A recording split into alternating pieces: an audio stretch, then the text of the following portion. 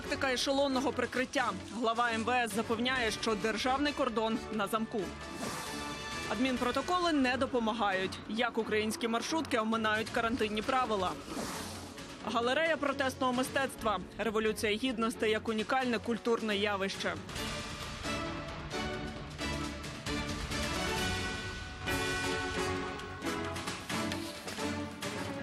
Вас вітаю на інтері. Далі поговоримо про найголовніші новини в Україні та світі. Мене звати Ольга Сас.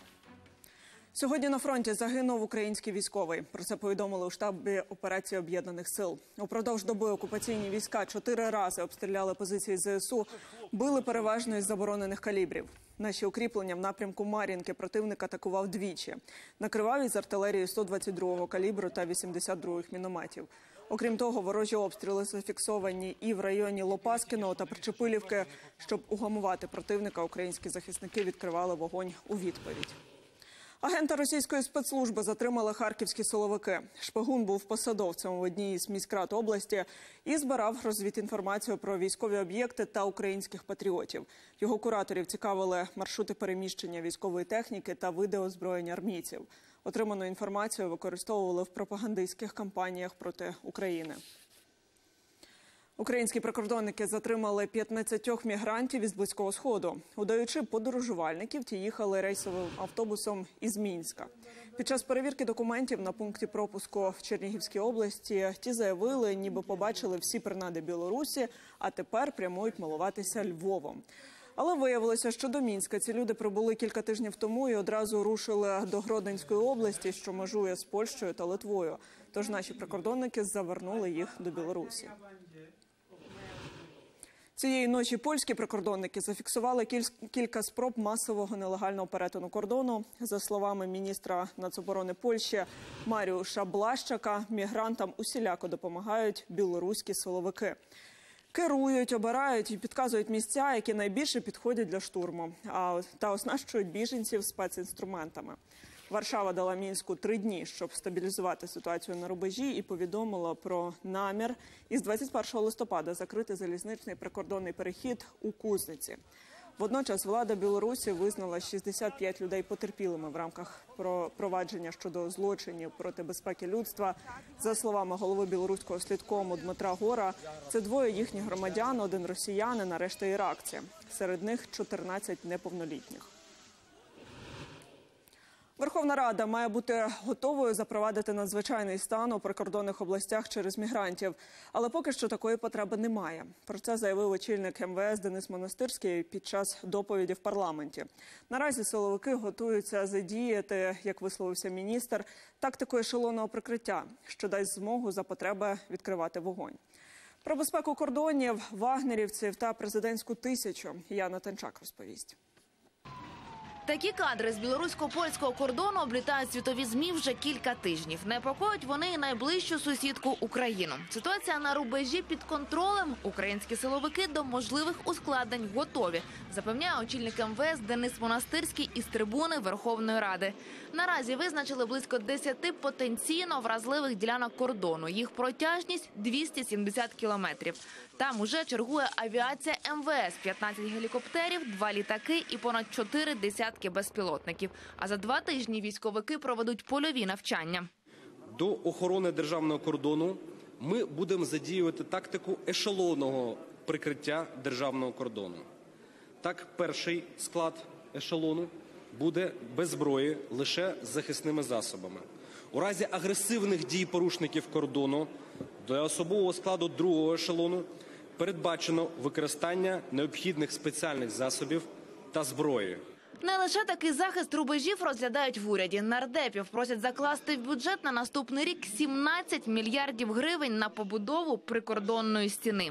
Після вивчення досвіду іноземних країн е, найбільш раціональним рішенням є будівництво вздовж всього кордону або річки у е, у вигляді суцільного паркану, сітки та колючого дроту, 100% покриттям кордону інтелектуальними системами цілодобового відеонагляду та сигналізації. Йдеться про ділянку кордону, яка межує з Росією та Білоруссю. У монобільшості хочуть довірити будівництво ізраїльським спеціалістам і зекономити витрати. Я буду говорити з міністром. У мене є інформація, що ізраїльські компанії готові надати такий кредит довгостроковий з 1 чи 1,5% річних для того, щоб це обладнання було встановлено. Це завдання зараз міністра, щоб він вибудував механізм, за якого е, під час складної ситуації з бюджету не буде великих е, таких видатків, але при цьому ми отримали необхідне обладнання, щоб наш державний кордон він був в безпеці.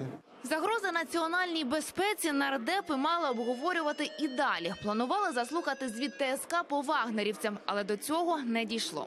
Певна кількість людей навіть у фракції Слуга народу, наскільки я розумію, за цей звіт голосувати не готова. З огляду на величезну кількість питань, які викликає цей звіт, з огляду на певну неспіввідповідності зі здоровим глуздом і змістом цього документу. Торкнулися і найпопулярнішої теми тижня президентської тисячі вакцинованим, яка фактично розколола парламент. Нардепам очільник уряду пояснив, гроші нараховуватимуться через дію. Механізм ще опрацьовують. Час на це є. Функціонувати все має з 19 грудня. Стосовно використання даних даної можливості в селах, а також українськими пенсіонерами, зараз допрацьовується на момент запуску програми. Ці пропозиції також будуть е, урядом озвучені і представлені суспільству. А в кулуарах Віктор Ляшко журналістам повідомив, пік захворюваності Україна пройшла, але можливий новий спалах. Тож закликає українців імунізуватися. Нині однією дозою щеплені 40%, а для формування колективного імунітету потрібно хоча б 70%. І тисяча за дві дози, переконаний міністр, це непоганий стимул. Яна Танчак, Олексій Шматов, Володимир Самченко. Новини телеканал Інтер. Ознаки нової інформаційної атаки з боку Росії на систему охорони здоров'я України фіксує СБУ. Таке на брифінгу повідомила заступниця керівника МОЗ Марія Карчевич. За її словами, поширюється відверто неправдива інформація стосовно реформи лікарняних та загалом роботи електронної системи охорони здоров'я. У всіх матеріалах використовуються уже знайомі наративи російського телебачення про те, що система не витримує, а люди, начебто, відмовляються від отримання послуг. Ми розуміємо мету цих атак. Методами російської пропаганди в Україні намагаються посіяти недовіру до державних медичних послуг та дестабілізувати ситуацію у системі охорони здоров'я. Однак реальний стан справ дозволяє нам спростувати поширені меседжі. Рівень зараження ковідом в Україні не знижується. Понад 20 тисяч нових інфікувань за минулу добу. А от кількість тих, хто одужав, більша на 2 тисячі. Від ускладнень коронавірусу померли 725 людей. Найгірші показники у столиці на Дніпропетровщині, Запоріжжі і Полтавщині. Нині в червоній карантинній зоні 18 областей. Напередодні до них приєдналася Вінниччина. Повністю імунізовано майже чверть населення 9,5 мільйонів громадян. Європа посилює обмеження для невакцинованих. У Словаччині з понеділка нещепленим заборонять відвідувати ресторани, торговельні центри, крамниці, спортивні та масові заходи. Аналогічні правила запроваджує і Греція. Невакцинованим дозволили ходити лише до церкви. Водночас Німеччина ухвалила новий багаторівневий локдаун. Суворість обмежень залежатиме від кількості ушпиталених на 100 тисяч населення. Уряд країни також продовжить виплати бізнесу, який потерпає від карантину. У Європейському агентстві з лікарських засобів заявили, без масової вакцинації нинішню хвилю заражень не подолати. Минулої доби в Європі зафіксовано понад 300 тисяч нових заражень ковідом, а загалом у світі удвічі більше. Обов'язкове щеплення для всього населення запровадять в Австрії. Таке заявив канцлер Олександр Шелленберг. Нововвед- Нововведення діятиме з лютого для людей, які мають медичні протипоказання, зроблять виняток. Наразі в Австрії вже вакциновано близько 65% дорослих. Однак кількість нових інфікованих б'є рекорди понад 15 тисяч випадків за добу. Це в країні з населенням 9 мільйонів. Через такий показник із понеділка Австрія запроваджує повний локдаун. МЗС України вимагає офіційного спростування заяви президента Болгарії Румана Радєва про нібито російський Крим. Саме з цієї причини до відомства сьогодні викликала болгарського посла. Таке очільник Болгарії заявив під час дебатів. Радєв хоче переобратися на другий термін, і під час полеміки з головним конкурентом чинний президент вказав на неефективність антиросійських санкцій ЄС. Натомість його опонент Анастас Герчиков назвав Крим українською територією незалежно від того, який прапор над ним майорить. Санкциите Санкції проти Росії видаються неефективними. Маємо виробити прагматичну політику щодо Москви, і ми не повинні забувати, що Росія є дуже важливим інструментом у боротьбі із глобальним тероризмом. Я так і не почув, чий Крим? Наразі це російська територія. Шестеро людей постраждали в ДТП із маршруткою в Запоріжжі. Аварія сталася о 6 ранку. На південному шосе мікроавтобус Мерседес Спрінтер влетів у припарковану на узбіччі вантажівку. У салоні маршрутки було восьмеро людей. Шістьох із них, у тому числі водія, якого рятувальники вирізали спецінструментом із салону, доправили в лікарню. Наразі трьом постраждалим медики надали допомогу та відпустили додому. Решта залишилися під наглядом лікарів. И трое госпитализированы. Челюстно-лицевую хирургию, один пострадавший. Водитель госпитализирован в отделение травматологии с койками политравмы. И одна женщина еще по настоящее время находится в операционной, будет госпитализирована в отделение интенсивной терапии общего профиля. Диагноз я не могу говорить. Это повреждение скелета, повреждение там, грудной клетки, черепная травма, травма органов живота. Червона зона не така вже й червона, принаймні для черкаських перевізників. Уже тиждень у місті та в області діють жорсткі карантинні обмеження, та водії маршруток дотримуватися їх не квапляться. Тільки за останні сім днів під час рейдів поліція вже склала, понад півсотні адміністративних протоколів. Хоча і це допомогло мало. Пасажирам та водіїв щасливої дороги. Автостанція на залізничному вокзалі Черкас. Звідси автобуси курсують обласними та міжміськими маршрутами. Та сьогодні щасливої дороги водіям і пасажирам бажає не тільки диспетчер. На станції рейдова перевірка поліції та Укртрансбезпеки. Тахографом обладнаний транспортний засіб? Ні. Тоді індивідуальну контрольну книжку, будь ласка. Та передусім перевірку цікавить дотримання карантинних обмежень. У пана Бориса всі документи в порядку, і сертифікат про повну вакцинацію є. А от щодо пасажирів водій не впевнений. Перевіряти їхні документи каже, права немає. Я тільки запитую. Вони мене і обманюють, і так. В Умані ось спинили тим рейсом, е, висадили. Так само поліцейські вчинили із цією сімейною парою. Ні сертифікатів, ні навіть ПЛР-тесту в них не виявилось. Ви вибачте, ну згідно постанови Кабміна забороняється користуватися такими попереджали, коли побували в Ми просто сьогодні їдемо на Коробівку і ми там будемо робити сьогодні іменно. Тільки нам треба туди доїхати. За перше порушення поліція пасажирів не карає, а лише проводить роз'яснювальну бесіду. Та у міських маршрутках це не допомагає. Будь ласка, не знімайте. Я не даю згоду на зйомку. Не знімайте, пожалуйста. Так перевірку зустрічає кондукторка. За правилами, вона, водій та пасажири повинні мати або сертифікат, або негативний результат тесту. Не чекаючи неприємної розмови, частина пасажирів стрімголов тікає з автобуса. А от водієві цього не вдається зробити. То немає в мене, розумієте? Немає.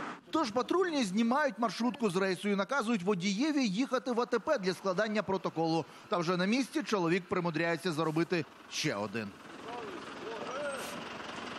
Ці дії патрульні кваліфікували як невиконання вимог зупинки і одразу виписали чоловікові два протоколи. Штраф за порушення карантинних обмежень обійдеться щонайменше у 17 тисяч гривень. Власник АТП, який не попередив свого підлеглого про такі наслідки, називає ці дії поліції свавіллям. Нет постановления правительства на этот счет, что в городских автобусах обязательно вакцинирование водителя, кондуктора. Сейчас же может вообще остановиться весь город, весь, весь транспорт в городе. Проте є рішення міської та обласної комісії техногенно-екологічної безпеки, наголошують у поліції. можуть надавати додаткові обмеження з приводу перевезень, як це е, фактично зроблено на черкаських маршрутах та міжміських маршрутах. За тиждень червоної зони правоохоронці вже склали понад півсотні протоколів за недотримання обмежень. Тому, аби таких ситуацій не виникало, жителів області вкотре просять правил карантину не порушувати. Станіслав Кухачук, Павло Тимошенко, новини телеканал Інтер, Черкаси. Івано-Франківську відновили очне навчання в школах. За парти повернулися учні 5-11 класів. Щоправда, не в усіх закладах міста, а лише в чверті. Чому ж не всі і коли відкриють свої двері решта шкіл, дізнавалася Жанна Дучак. В івано-франківських школах знову гамірно. Після місячної перерви за парти повернулися учні старших класів. Одинадцятикласник Ілля каже, скучив за живим спілкуванням і не тільки з однокласниками, а й учителями, адже востаннє з ними бачився ще всередині жовтня. Зустрітись з друзями, повчитись. А ну, а дистанційка не, не допомогла вдома. Ні, А чого ні? не цікаво. Так краще. Так краще. А от старшокласниця Юля поверненню до очного навчання зовсім не радіє. Каже, дистанційка дозволяла їй поєднувати обов'язкові уроки з підготовкою до ЗНО. В 11 класу все-таки легше навчатися дистанційно, тому що дуже велика кількість репетиторів. І під час дистанційного навчання ми більше встигаємо, більше віддаємо час таки тим предметам, які ми будемо складати на ЗНО. У міському департаменті освіти пояснюють, за правилами червоної зони мають бути 100% вакциновані всі працівники. Такого показника вдалося досягти лише цього тижня, і то тільки півтора десятку шкіл. Решта 40 приєднуватимуться поетапно. Цей тиждень то будуть працювати у нас вже 16 закладів освіти, тому що Вовчинецька гімназія у нас поч- розпочала освітній процес трішки раніше. У нас працюють 6 початкових шкіл в місті Івано-Франківську. Ну і сподіваюся, що з понеділка ми закриємо це питання. Загалом вийдуть там всі заклади освіти. Відновив навчання і четвертий ліцей. Директор каже, із 80 працівників категорично вакцинуватися відмовилося лише троє. Їх ще 8 листопада відсторонили від роботи, і під час визначення загального показника вакцинованих не враховували. окрім тих двох, які е, двох вчителів і одного техпрацівника на сьогоднішній день не подали ані е, сертифіката про вакцинацію, ані довідки про абсолютні протипоказання. Тобто це їх абсолютне переконання, що вони не будуть вакцинуватися. Треба враховувати відсторонених працівників у загальну кількість вакцинованих чи ні у міському департаменті освіти і самі точно не знають. Адже в постанові Кабміну написано про 100% усіх працівників без уточнення, чи входять у це число відсторонені. Тож на місцях усі користуються роз'ясненнями міністерства освіти. Кожен керівник приймає те чи інше рішення щодо відновлення. Е, Навчання в очному форматі цифра відсторонених вона щораз змінна. Відсторонені працівники не рахуються. На сьогодні не вакцинованих в нас менше 7% ті працівників закладів загальної середньої освіти. Але серед них, ну мені здається, переважна більшість є ті, в кого протипокази. Сьогодні мої колеги Мінцифри працюють над тим, щоб згенерувати цю довідку, які формують саме протипокази і які не вимагають вакцинації. Загалом на Прикарпатті нині відсторонені від роботи більше як півтисячі працівників освіти. У звичному режимі працюють майже 30% навчальних закладів. Решта і досі на дистанційці. Даніл Снісер, Жанна Дудчак, Занові Автонас. Новини телеканал Інтер Івано-Франківськ. У киянина рекордсмена з невиплачених штрафів вилучили люксовий позашляховик. За даними мін'юсту, він не реагував на листи щастя, яких йому прийшло майже 150. Таким чином заборгував близько 130 тисяч гривень. Машину йому повернуть тільки після погашення боргу. Як повідомляє заступник міністра юстиції Андрій Гайченко, за два дні в Києві у боржників конфіскували сім автомобілів. Нагадаю, полювання на водіїв, які не сплачують штрафи за порушення правил дорожнього руху, розпочали цього місяця. Вартість опалення в платіжках підскочила вдвічі. Ціна на газ у шість разів вища ніж торік. І понад 4 мільйони сімей тепер не можуть собі дозволити опалення у власних оселях. Ви не повірите, але йдеться про Велику Британію. Про все докладніше розповість Світлана Чернецька із Лондона. Пенсіонерка Дорін живе у двокімнатній квартирі. Для неї комфортна температура плюс 23 градуси. Але тепер гарячі батареї це справжня розкіш. Від початку року вартість опалення в її платіжках підскочила вдвічі. Мені не соромно вам показати. Так я зараз живу. Дорін каже, мусить вибирати або мерзнути, або економити на всьому іншому. Тепер майже половина її пенсії йде лише на опалення. Тепер мені треба бути дуже обережною з витратами. Я не купую ні одягу, ні взуття. Я вже кілька місяців відкладаю візит до перукаря. Із харчів беру більше консерв. Про жодний манікюр тепер не може бути й мови. Дорін, як і ще 85% британців, залежить від центрального опалення. Природний газ також генерує 35% електрики в країні. Тож, коли його вартість у світі досягла історичного максимуму, для Сполученого Королівства це стало серйозним ударом. Один за одним почали банкрутувати компанії-постачальники енергії. Із 70 фірм до кінця року залишиться тільки 10. Ціна на газ зараз у шестеро вища, ніж була торік, а із серпня зросла на 70%. Тож ми опинилися на незвіданій території, і цьому сприяло дуже багато факторів, зокрема збільшення міжнародного попиту. Тому дуже важко передбачити, як довго це триватиме. Зрозуміло одне, через здорожчання ще більше британських сімей опиниться на межі бідності. Наразі близько 4 мільйонів сімей перебувають у так званій опалювальній бідності, і останнє зростання додасть ще півмільйона до цього числа. Хоча ми знаємо, що насправді ці цифри значно більші, але ж підвищується не лише вартість опалення, але й продуктів та всього іншого. Тобто людям ще складніше в цій ситуації. Ціни на газ і світло не зростатимуть до безкінечності. У Великій Британії є захисний механізм для споживачів. Незалежний регулятор встановлює обмеження вартості енергоносіїв. Але якщо ціна на газ і надалі підвищуватиметься на світовому ринку, то і у Сполученому Королівстві стримати її не вдасться. Інакше збанкрутіє ще більше компаній-постачальників, і обслуговувати споживачів буде просто нікому. Світлана Чернецька, Валентин Біліч. Новини. Британське бюро телеканалу Інтер. У столиці відкрили новий арт-простір галерея протестного мистецтва. Уже сьогодні відвідувачам презентували першу експозицію. Тетяна Радченко розповість докладніше.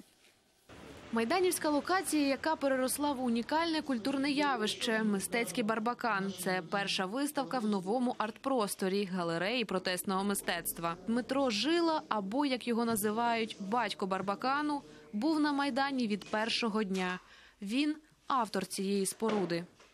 Ідея була в тому, що Барбакан це підмостове укріплення. Це ну от є фортеця, є міст через рів. А за ровом стоїть Барбакан. Він е, перший зустрічає ворога. Це ну такий форпост, е, мистецький форпост. На виставці також представлені роботи художників-барбаканівців. Серед них і полотно Олекси Манна. Історія протистояння на майдані для нього це нове середньовіччя, коли втрачаються будь-які цивілізаційні орієнтири.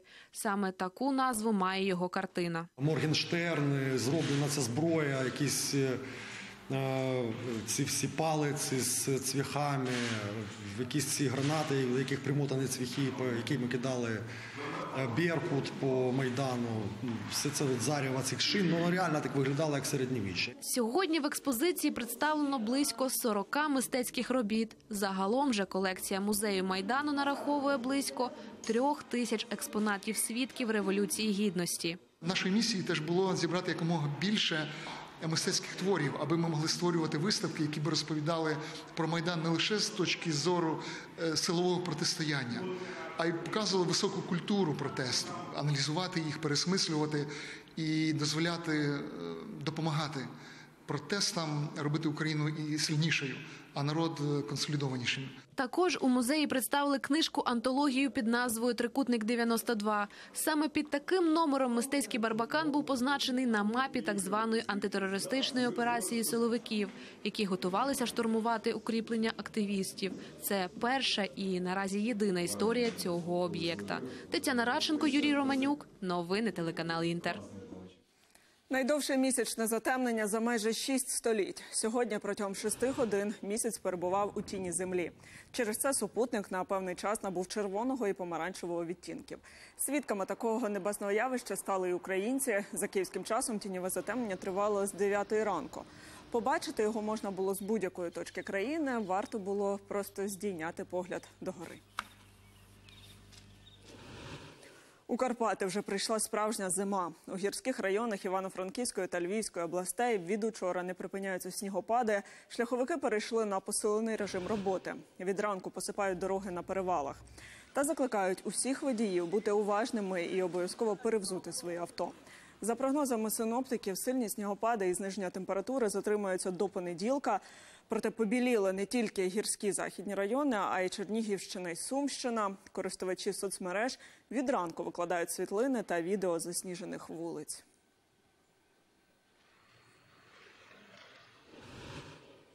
Нехай навіть попри погоду за вікном на душі вам буде тепло і сонячно. Бажаю вам гарного вечора і цікавих вихідних. І до зустрічі за тиждень.